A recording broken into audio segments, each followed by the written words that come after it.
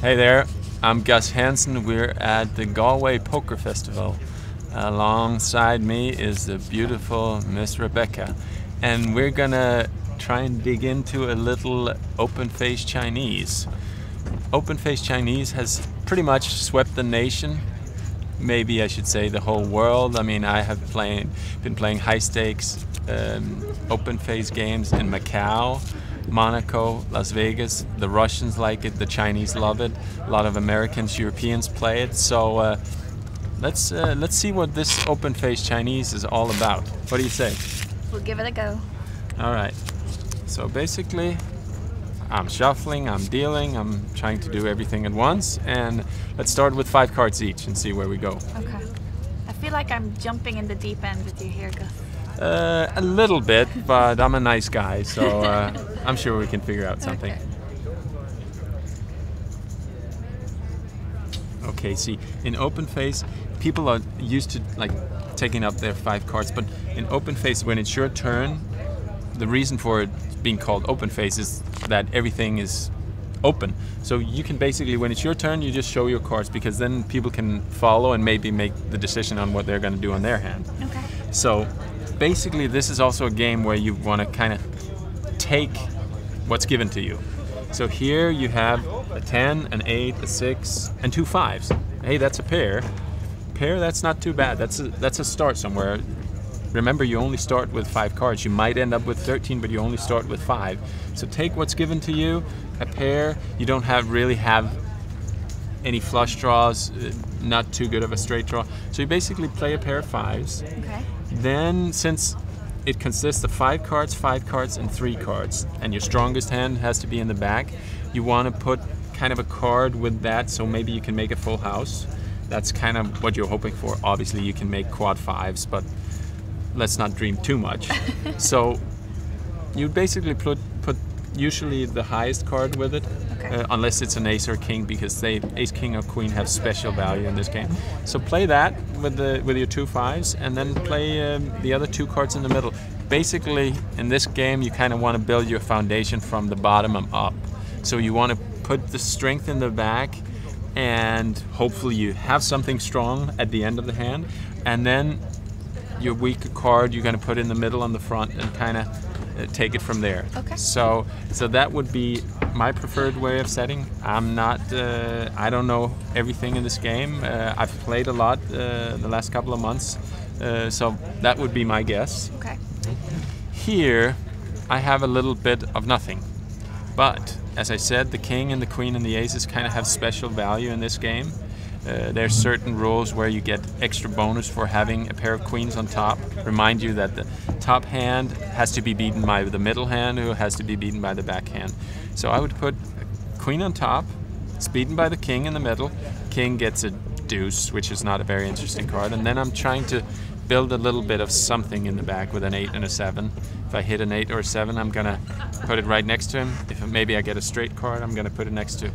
So basically, that's our setup. And then we get one card at a time.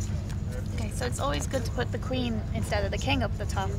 Yeah, basically, like I said, the the top has to be beaten by the middle. So mm-hmm. you have your strongest in the back, second strongest in the middle, and weakest on top. So Okay. basically, if you did it the other way around, well, now you have the king is stronger than the queen and the Yeah. deuce. So remember, this is poker hands. So so basically, a lot of times you will end up in situations where you just have like king high on top, or in this Yeah. case, queen high on top, maybe ace high in the middle, and maybe a straight or two pair in the back or something. So let's see what you're getting.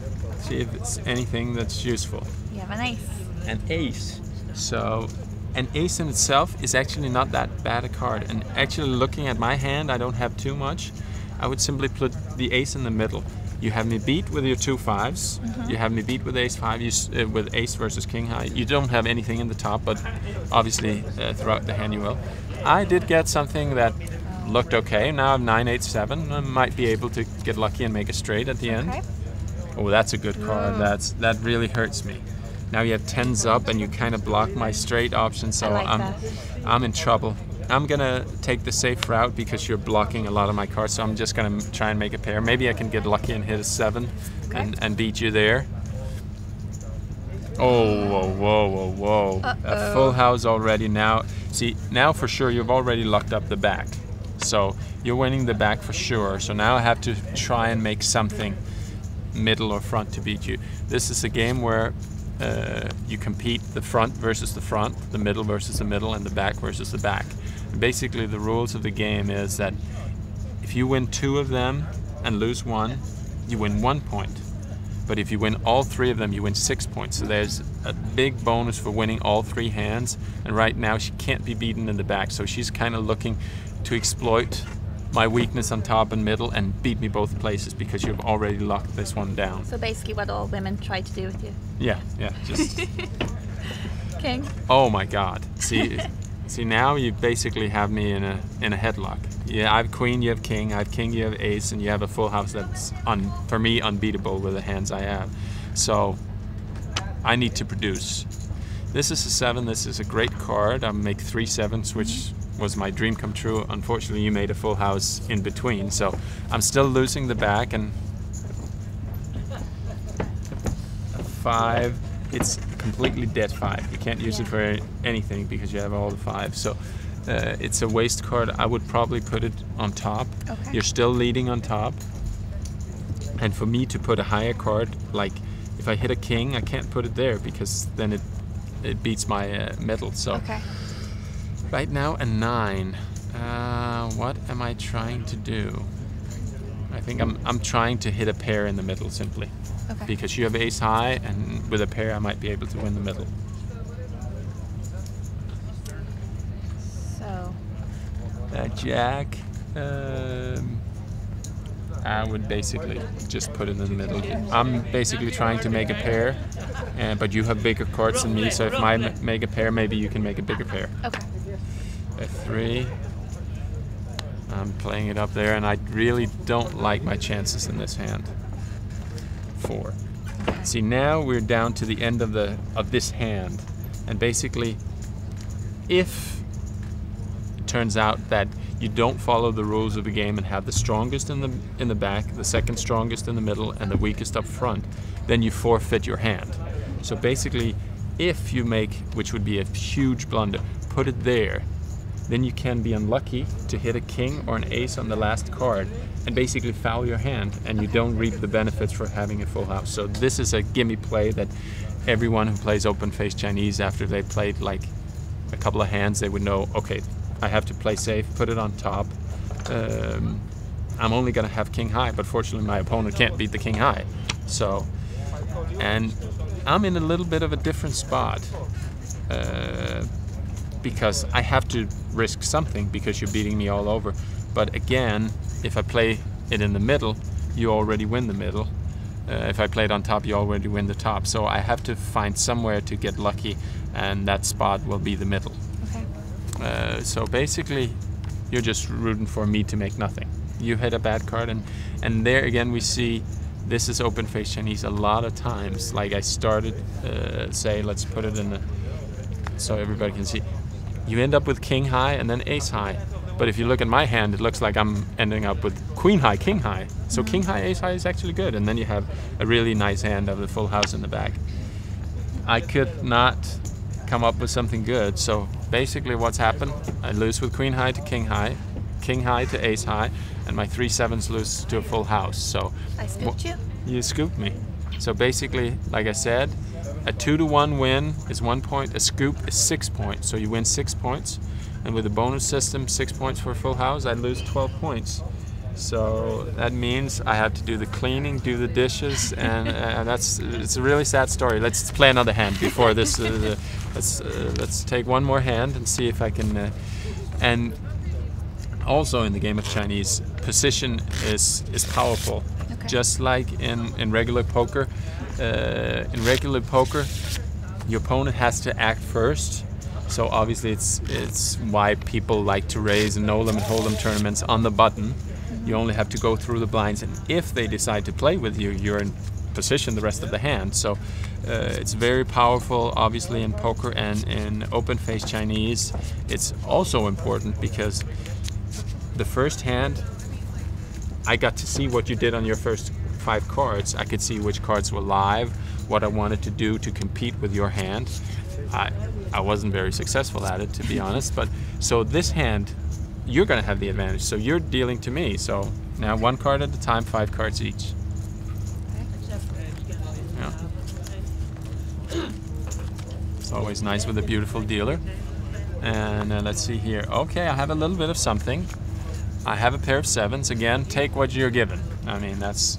I have no three flush, four flush, threes are straight. So I'm playing two sevens with a nine, and then I'm playing the ace that we saw by itself can win the middle. And uh, you're probably not too proud of that, those five cards. Not really. No. So that's a, see that's the same probably as in poker. Everybody knows that if you have two aces before the flop, if you raise, you're not really doing anything wrong. Um, but the weaker your hand, the tougher it becomes to play. Uh, everybody knows I can raise with the ace king, but the 7-5 suited, should I play it, risk getting raised, should I not do it? And you have a lot worse than 7-5 suited. So uh, here I really don't know what to do. But again, I have two sevens in the back, so you might want to play some cards that if you hit something, you Beat you. it beat me. So obviously, and like you saw last time, I played an eight and seven because at least they're connected. Maybe make a straight. So a ten and a nine makes sense. And uh, and then this is actually a hand where normally you would play the king in the middle, but I already have an ace. ace, so that's not so good. So actually, the way to play this would be the 10-9, trying to beat something, uh, beat my two sevens. Now you play two smaller cards there to make a pair to beat my ace, and now you actually play a little risky and put the king up front Okay. because the king loses its value because I have the ace already. So now you're gonna play. It's a little risky. You might end up fouling your hand, but I think this could be the right play. Okay. A little bit on the aggressive side, but uh, I think you can handle it. Yeah, I think so too. All right. Let's see.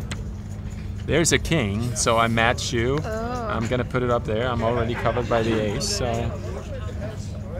So we're gonna put this here. for sure it's higher than a seven and fits perfectly with your plan of making make it, maybe making a straight. So that's for sure the right play.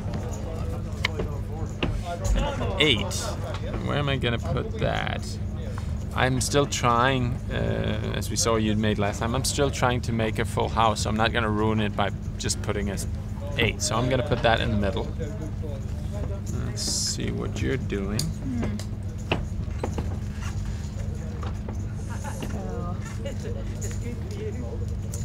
So You're not going to put it in the No. back. No, for sure. And basically, it, it actually fits well with your hand. You want to obviously try and make it straight, but at least make a, a, a medium big pair there. And then to beat the king, you kind of want to make a small pair here. So it actually it fits uh, well with your hand just to put it in the middle. Now you can hope. I mean, in some sometimes you end up with a pair of tens, then a pair of threes, and king high. But it could be good enough to beat some of my hands. So. A six. Again, the six, I put it there. If I make a pair of sixes, it's still lower than my sevens, and it might be higher than your pair, so it works out well. there we go. There we go. You made the threes, so now you're beating my ace high, and you have a good chance of beating my sevens if you make a pair there. So that was a good card for your hand.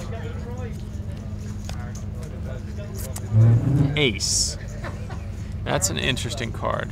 Now, I cannot really play it there because now I have ace king versus ace eight. Okay. So, but then you can say if I play it here, it beats my sevens. But there's special bonus for making big pairs on top, so I'm gonna risk it and hope I catch a nine or a seven on my last four cards. Okay. So we should go with it down here. Yeah. Yeah, now you basically set.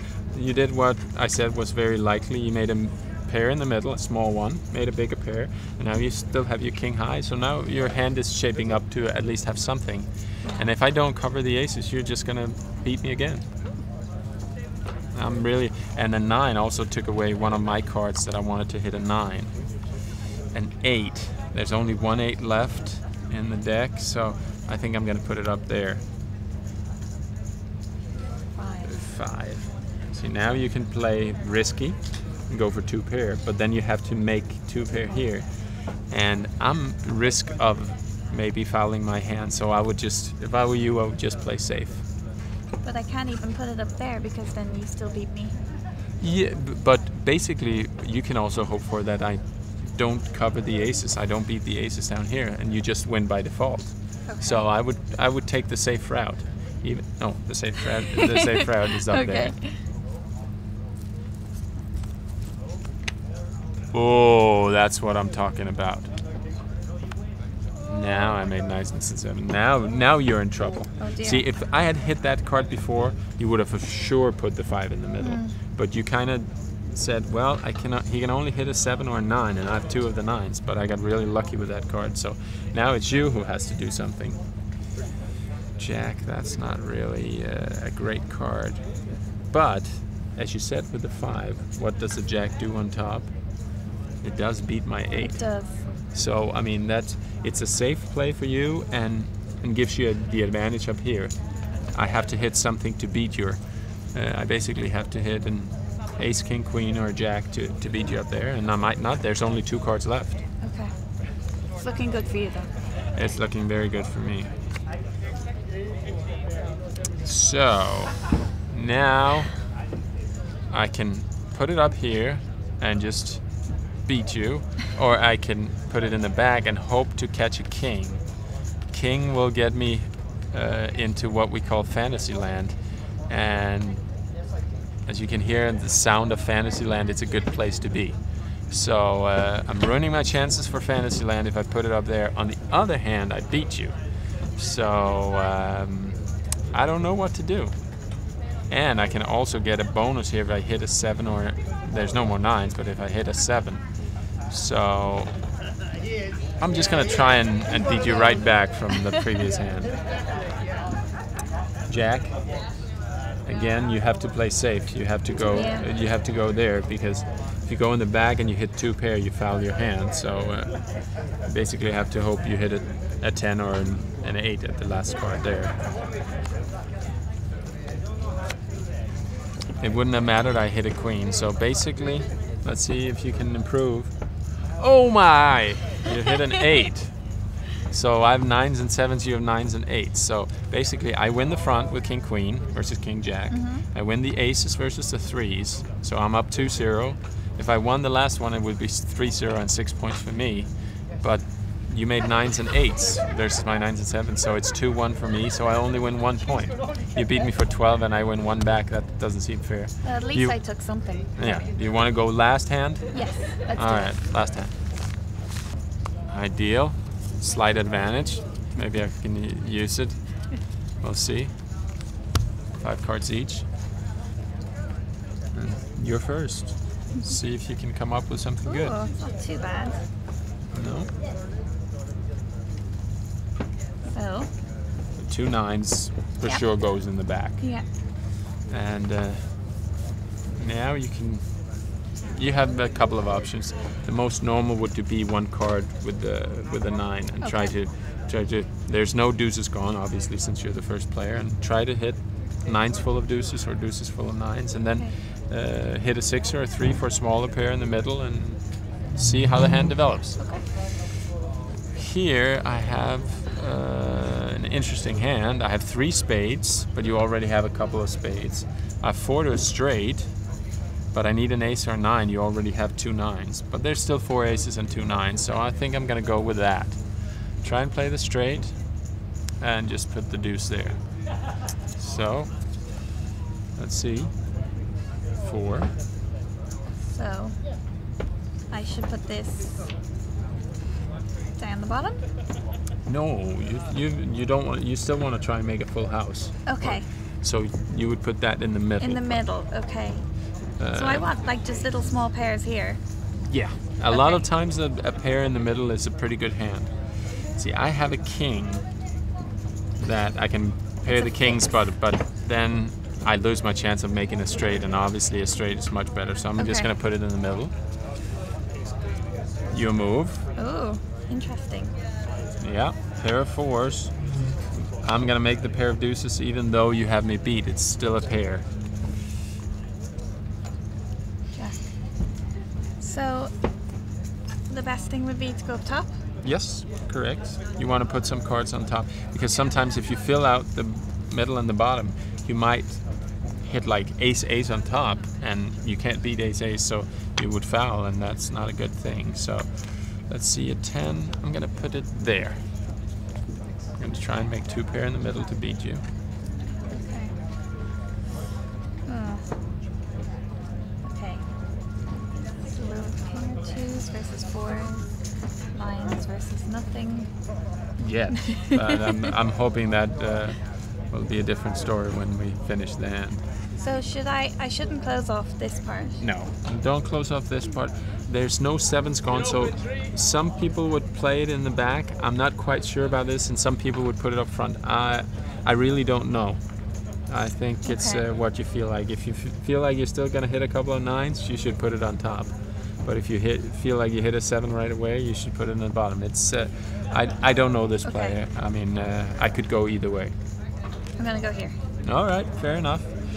That's a great card. Ace. Oh, ace high. I was just about to put ace high, which obviously would have been a blunder because I want to make my straight back here.